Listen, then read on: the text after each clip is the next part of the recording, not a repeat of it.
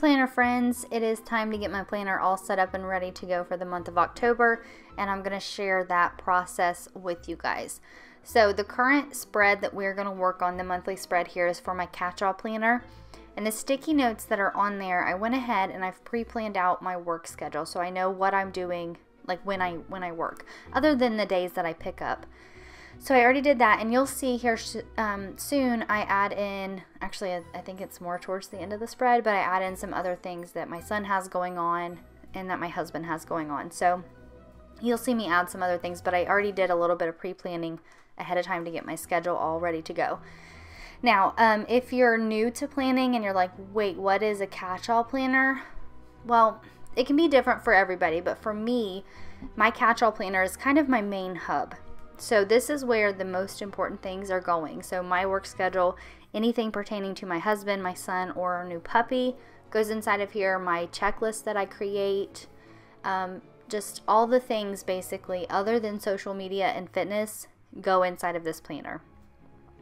So that's what a catch-all planner is for me. It could mean something totally different to somebody else. And then the other thing I want to mention is y'all. You know how you know how we get like a little bit obsessed with like happy planner stuff when we buy like all the planners all the stickers all the things right? Well i've kind of went down this rabbit hole of memory keeping supplies. So for a long time i've really wanted to dive fully into memory keeping and i have some stuff from the happy planner like i have a, a couple of memory keepers and things and some different um, accessories that the Happy Planner has that's for memory keeping, but like I've wanted to go in, all in for a couple of years now, and I've been saving up money and working hard to where I could do just that. And I've, I've, uh, I've got some stamps now, you guys. I got a lot of stamps, so be watching because I have a couple of haul videos. But I've been wanting to do stamping inside of memory keeping, so I've ordered some stamps. I've got those in. I've got some other embellishments and different little things. And I'm going to start incorporating those things into my planner as well because I'm just stoked about it. I've become obsessed. I've been watching tons of YouTube videos. Um, when I get on Instagram, I go straight to the search bar and I start searching memory keeping stuff. like, you guys know how that obsession is. Like with our Happy Planner stuff, well, it's the same thing here with memory keeping. And this particular stamps that I'm using now, this one I got I picked it up the other day at Hobby Lobby. Um, and I it's just a like texture stamp and I thought that this particular stamp that I used was perfect for Halloween. So did a little bit of stamping. I think I add some more stamps here in just a few. I'm not for sure to be honest with you. But stamping and decorating it and getting it set up for the month.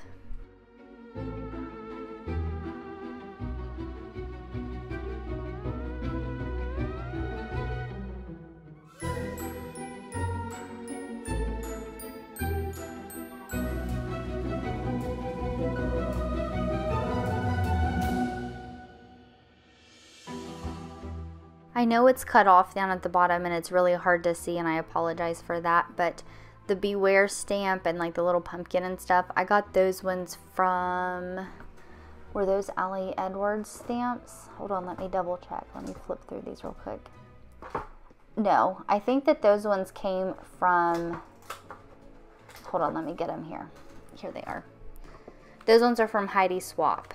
Um, so I found she's got some awesome stamps too. So does Ali Edwards. I love both of their um, their stuff that they have. But those particular stamps, like the Beware one, the cute little pumpkin and stuff, those are from Heidi Swapp. If you're wanting to get some Halloween stamps, like seriously, order them. I have um, missed out on quite a few things, and it's only what the fifth of October, and I've already missed out on quite a few things because it's already sold out. I didn't realize it. I should have known this. It's just like with planner stuff, things come out way ahead of time, and I should have been looking for, you know, Halloween stuff in summer, I guess.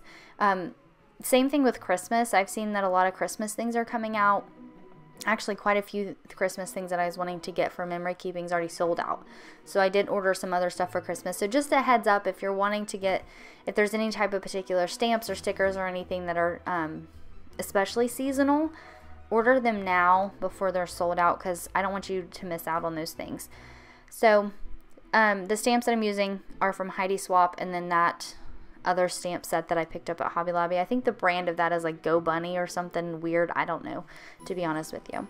And then, of course, I have my Happy Planner stickers. For stickers, if I didn't mention this already, I have, um, I just got in my order from the Happy Planner for the fall release. So I have the Halloween sticker book, the fall sticker book, and the seasonal sticker book. And kind of using a combination of all of those. And then here I'll start pulling up the sticky notes and start filling in my work schedule for the month.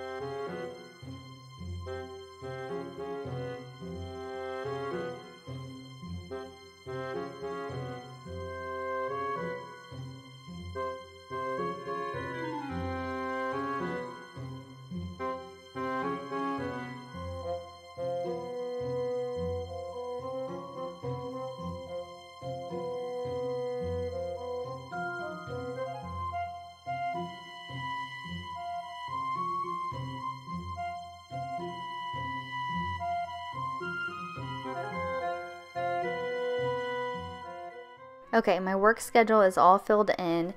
And then October the 1st through the 3rd, my son had a camp for Cub Scouts. And I'm kind of doing a little bit of mini back planning here.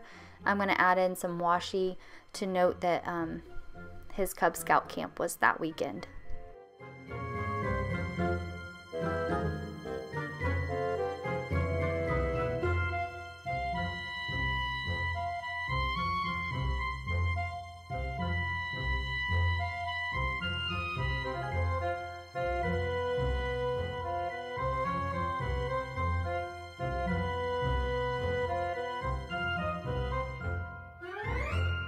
Here I'm adding in some little stickers to note that my son has his uh, Cub Scout meetings on Mondays. So putting stickers down to note that. And again, this is where I add in a few other things. My husband has a golf tournament one day.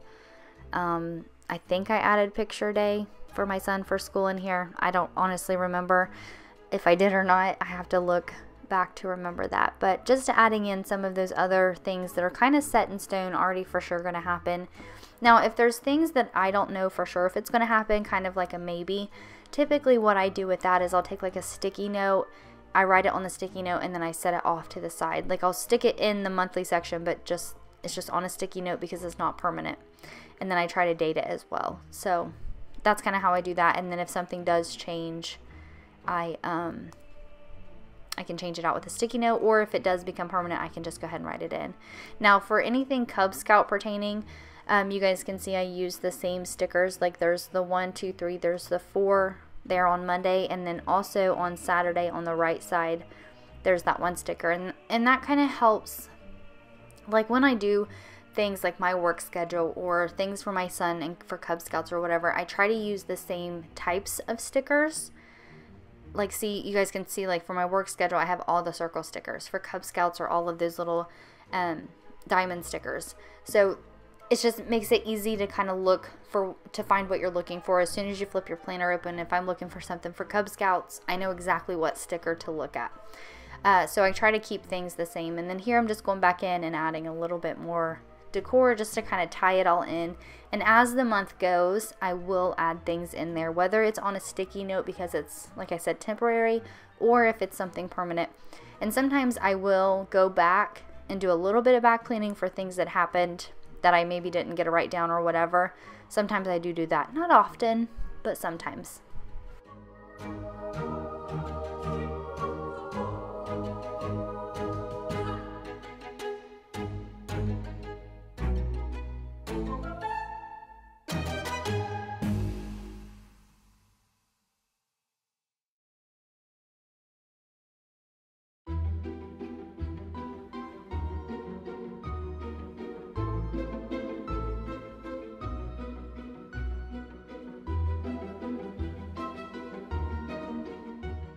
For the gray noted sticker on the left side, um, it just kind of depends on what I use. I usually have some type of sticker like that on the left side.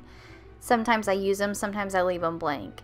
But when I do use them, sometimes it's for things that I want to get done that month that I don't necessarily know when. So for example, right now, what what I'm wanting to do is get some plywood and put it in our attic and get it all screwed down so then we have more space for storage because our attic we right now we're using like a little tiny corner for storage so it's got like decorations and things like that up there and I, it's it's full and we need to expand that and we have an entire attic so I want to do that. I don't know when I'm going to do it in the month of October. October is the perfect month because it's not too cold outside, but it's also not too hot, so we won't freeze to death in the attic or have a heat stroke. but I do want to do it sometime during the month. Another thing that we want to do, we have a building and um, it's just become a hodgepodge of, of craziness out there and it needs to be cleaned out. So I want to do that sometime during the month. I just don't know when. So sometimes I use it just like that for projects that we're doing throughout the month. It might be just a quick reminder. I don't know. It just it just kind of depends. And like I said, sometimes I leave them blank and I don't fill it in at all. But here, all I'm doing is flipping through the sticker books. That's really a lot of this process, honestly, is just flipping, trying to find stickers that are going to work, trying to keep it with the theme that I'm going with. Um, and then, like I said here, I'm just adding in some of those extra things that I know that we have going on.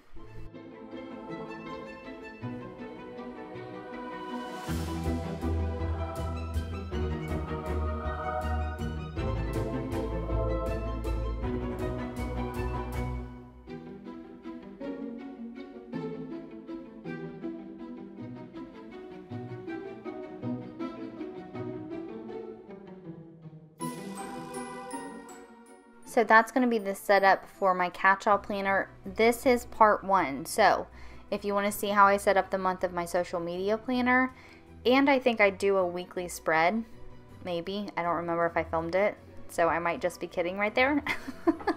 um, but if you guys want to see that, make sure you watch part two. I broke this up into a two-part series because if not, the video was going to be like 30 some minutes long, which is just crazy. So I wanted to break that up. The planner, this part right here with all the yellow sticky notes, that's my fitness planner. I was going to film setting it up, but honestly, eh, ugh, that's just what I think about that right now. Ugh, not, not yet. So I just left the sticky notes there and um, moved on from there. But here you can see a little sneak peek of the monthly section of my social media planner. So make sure you guys watch part two and you can see how I set that up and I'll give you some little tips and information on how I plan for YouTube videos for the month.